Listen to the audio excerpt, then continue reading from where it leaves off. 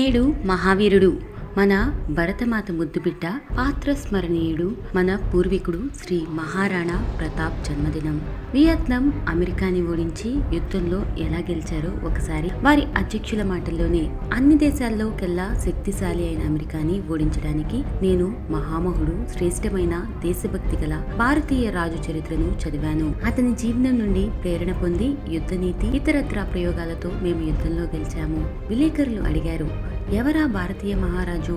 Vietnam అధ్యక్షుడు నిలబడి గర్వంతో ఇలా సమాధానం చెప్పాడు. అతడి రాజస్థాన్లోని మేవాడ్ మహారాజ్ రాణా ప్రతాప్ సింగ్. రాణా ప్రతాప్ సింగ్ పేరు చెప్పేటప్పుడు ఆయన కళ్ళు ప్రత్యక్షంగా రాణాను చూసినంత మెరుపుతో నిండిపోయాయి. ఒకవేళ మహారాణా ప్రతాప్ సింగ్ మన దేశంలో జన్మించి ఉంటే మేము ఈ ప్రపంచాన్నే జయించేవారం. కొన్ని రోజుల తర్వాత వియత్నాం అధ్యక్షుడు చనిపోయాడు. అయితే అతని సమాధి మీద ఇలా రాయించుకున్నారాయన ఇది మహారాణా ప్రతాప్ యొక్క శిష్యుడిది. కాలాంతరంలో వియత్నాం దేశ విదేశాంగ మంత్రి భారత ప్రకటనకి వచ్చాడు. మహామహుల శ్రద్ధాంజలి ఘటించడానికి మొదట గాంధీ సమాధి ఆయనకి చూపించారు. ఆ తరువాత ఎర్రకోట ఇంకా ఇంకా ఇలా చూపించారు. ఇవన్నీ చూపించేటప్పుడు ఆ విదేశాంగ మంత్రి ఇలా అన్నాడు. మహారాణా ప్రతాప్ సమాధి ఎక్కడ? ఇవన్నీ చూపిస్తున్న భారత అధికారి అతని ప్రశ్నకు ఆశ్చర్యపోయి ఉదయపూర్లో ఉన్నదని చెప్పాడు. విదేశాంగ మంత్రి అక్కడి నుంచి ఉదయపూర్కి వెళ్ళి సమాధిని దర్శించి అక్కడి నుండి పిడికడు మట్టిని తీసుకుని తన బ్యాగ్లో పెట్టుకున్నాడు. ఇది చూసి భారత అధికారి మట్టిని బ్యాగ్లో పెట్టుకోవడానికి కారణం